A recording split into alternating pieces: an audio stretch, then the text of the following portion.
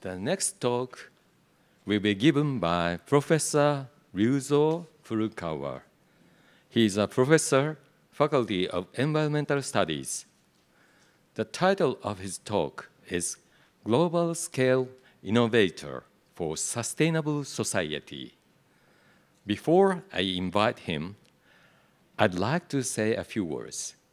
I understand that there are many university students as well as high school students participating in this program today. The following talk by Professor Furukawa is a program that we are currently implementing at the Graduate School of Tokyo City University. Therefore, this talk will be interesting not only to high school students, but also university students. Today, Professor Furukawa will be participating remotely. Professor Furukawa, please. Thank you for introducing me, uh, Professor Honma. Hello, everyone. Uh, my name is Ryuzo Furukawa. My major is environmental studies. Today, I would like to introduce one of the new program at Tokyo City University. Let me share my slide. Okay. Today, I'd like to show you about Global Scale Innovator Program for Sustainable Society. This is a new program uh, for graduate school students.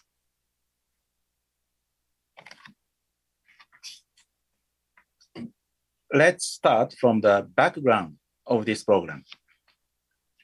As you know, there are many global scale issues, such as air pollution, uh, plastic waste, and uh, climate change, and also industrial waste sometimes natural disaster. All of them are very important uh, serious issues, especially climate change caused by CO2 emission is very serious. Please look at this picture. These are plastic waste on the beach. There are also floats, nets, ropes made by plastics. Uh, this is Okinoerabu Island near Okinawa, Japan. These are coming from the ocean whenever storm or typhoon comes. These plastic, plastic bottles are made in China, Korea, or other countries if we have these plastics on the beach, these wastes will change into the very small microplastics and they are easily captured into the body of humans.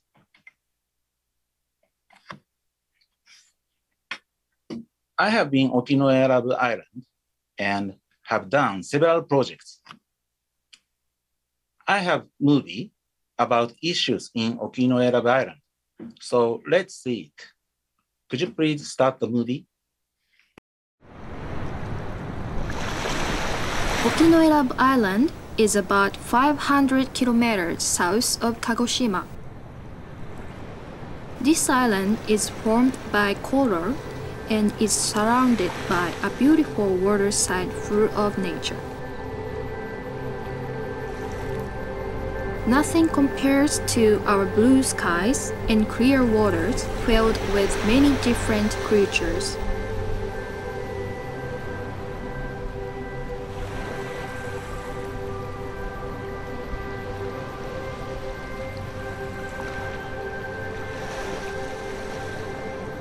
There are hermit crabs with beautiful purple claws. We often happen to see them walking across the beach while carrying their large barrier-shaped shells.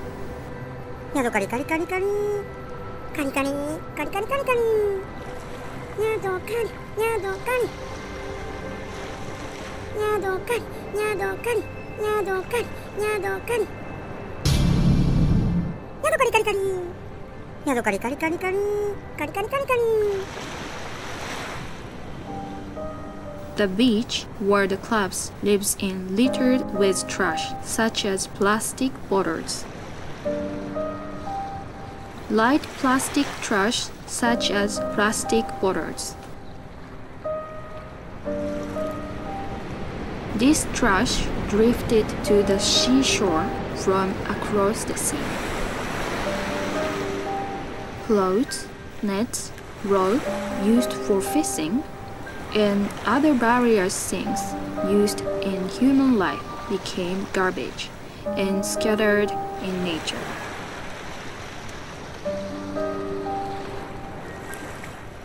The majority of the litter is plastics.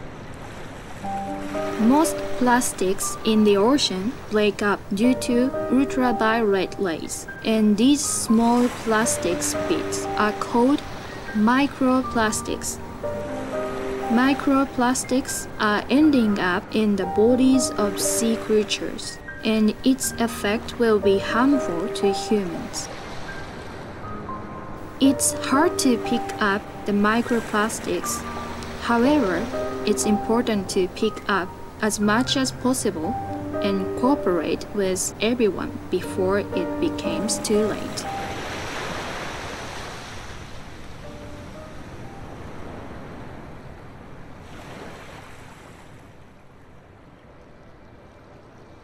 The earth is not only for human. It is an important place for living that many creatures share. Various global environmental problems, such as global warming, are getting worse. These are the problems caused by the change from the way we live based on natural resources to the way we live based on underground resources.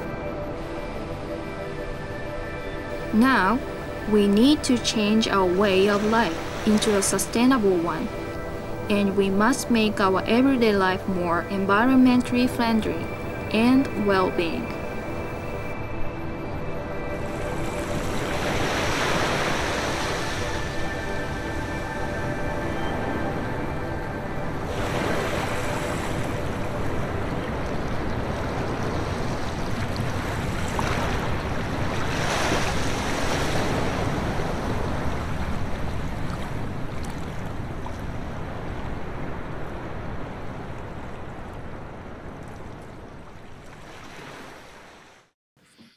how was the movie? Uh, this is one of the global scale program. And uh, maybe we need to think about not only waste on the beach, but also our lifestyle using plastics or non-renewable resources. But how can we solve these issues? Please think about it.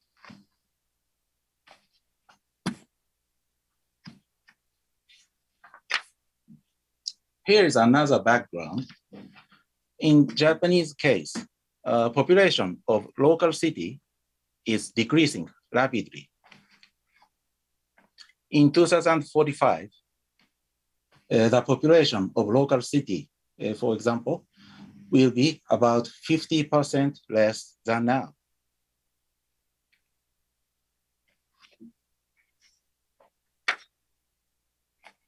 because of decreasing population, community is disappearing right now. And also traditional culture and traditional technology also disappearing. And the technician is also disappearing from the local city.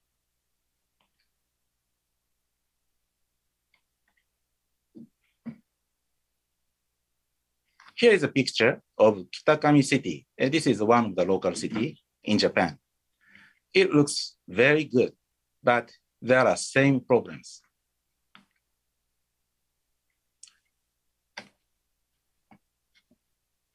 Long River meets here. Uh, it's about 250 kilometers long.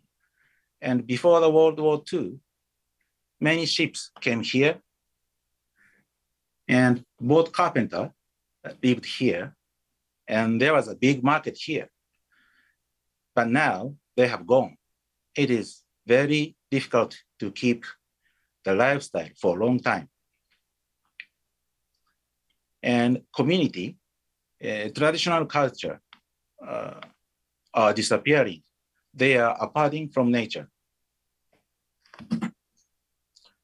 So in that situation, uh, in the local city, uh, this is one example. A secret-based project have started uh, in Kitakami City. They made tree house like this and gave opportunity to children to make everything by wood or vine by themselves.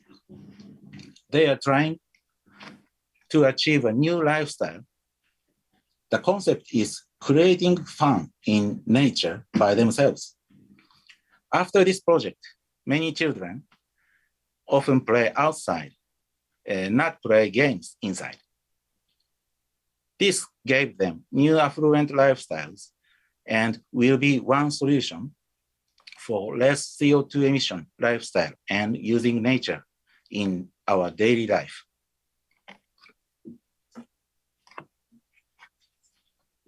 This is another lifestyle innovation event of calligraphy using morning dew in Toyooka City. Uh, they wake up early in the morning and they uh, take morning dew uh, at the garden on the leaf. Then they prepare calligraphy for writing wishes.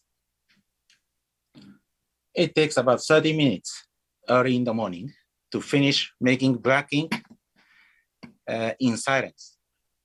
During this process, they find goodness of silence, thinking, and goodness of wishes, and goodness of nature. Actually, this lifestyle is old one in this area. Recently, most of them forgot it.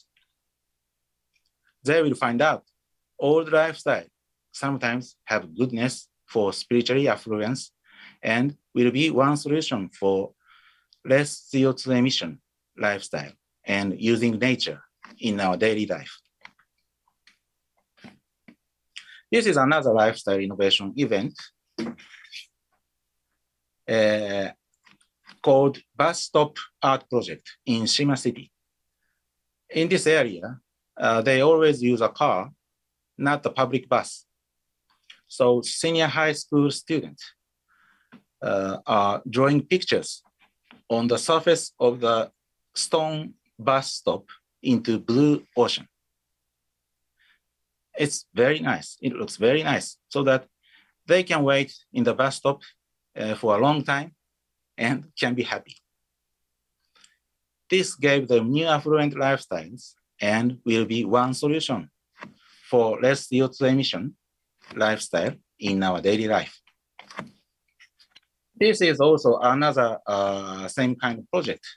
Uh, senior high school students uh, drew pictures at the garbage collection area like this, uh, so that people can go to garbage collection area easily and can be happy. This gave them new affluent lifestyles and will be uh, one of for less CO2 emission lifestyle in our daily life.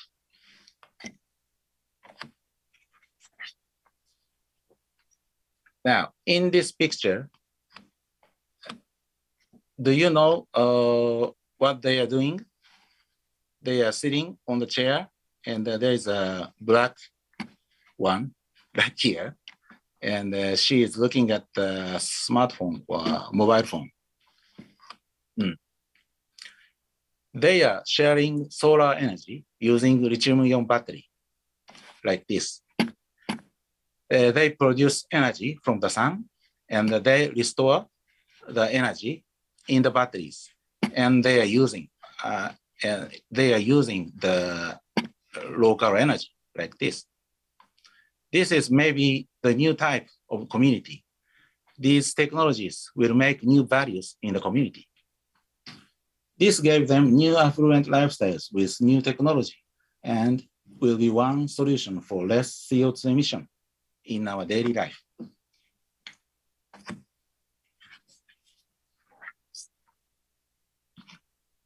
This is a last example, uh, unutilized resources restaurant.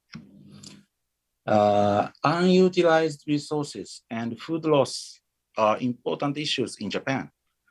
This picture is the restaurant uh, which use unutilized fish or crabs.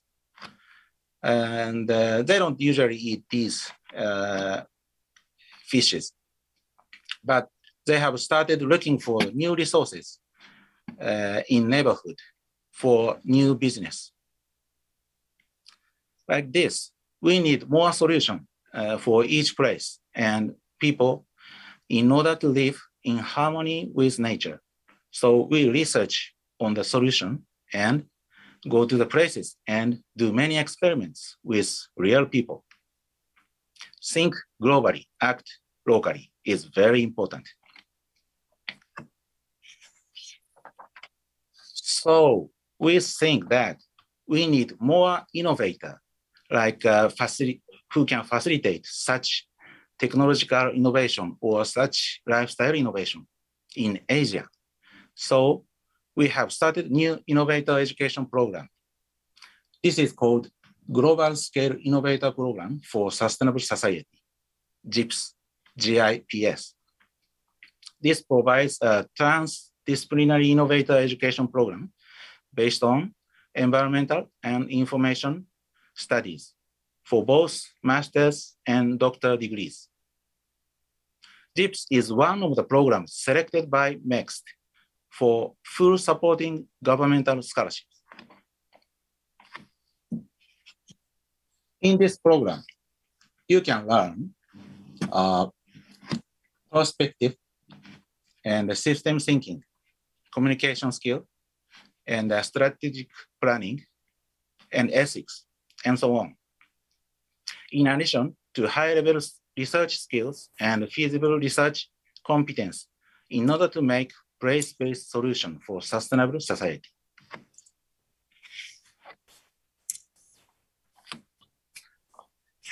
At last, I would like to introduce my lab.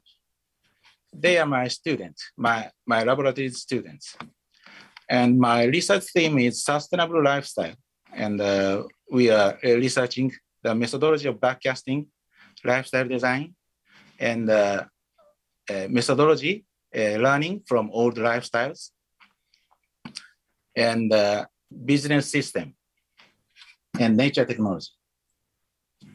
Have you heard nature technology? Nature technology means learning from nature yeah, nature has many good technologies for sustainability, but we don't use much. So uh, we are developing the system uh, to learn from nature. Uh, I show you one example. Uh, for example, there are nests of termites, like an ant house, ant house in the savannah. Uh, in the nest, where outside temperature is 50 degrees at noontime and uh, close to zero degrees in the evening, the nest remain regular at a consistent 30 degrees. One of the Japanese companies developed products inspired by nature, by this technology. Uh, in this case, inspired by soils. So I show you the uh, one of the uh, technologies.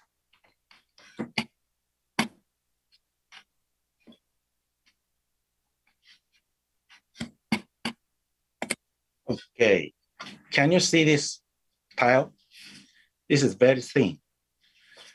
And uh, this tile uh, is developed, uh, inspired by soil technology, nature technology. And there is a very small small uh, holes, uh, very, very small holes in it, so that this can absorb the water in the air. Let me do it.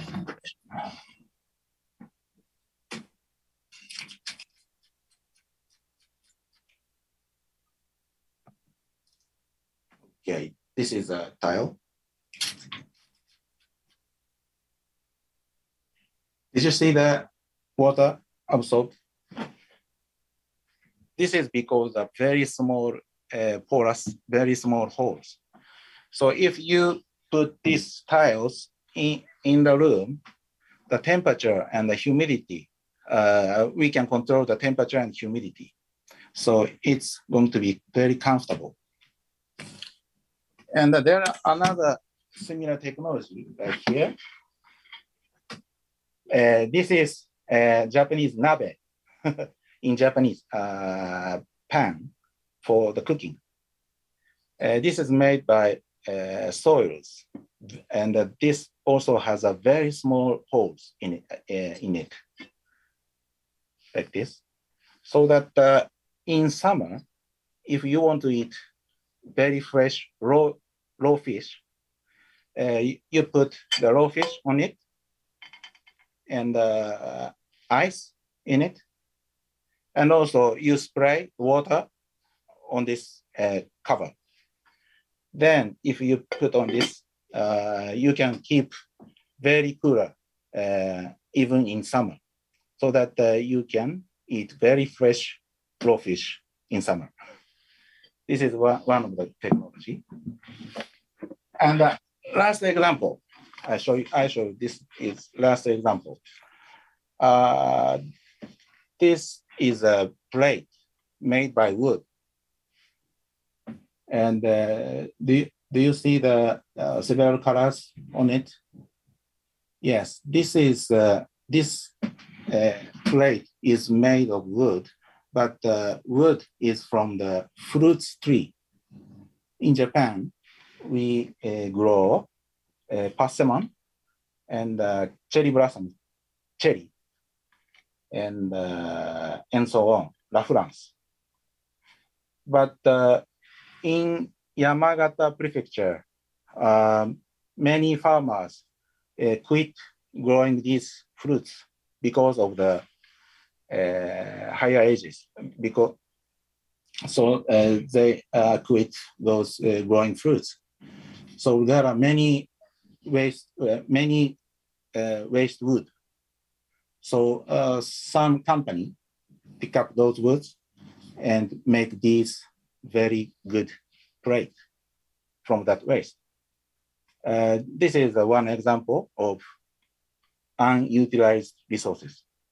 So maybe this might be the key uh, to facilitate the innovate, innovation in the local area.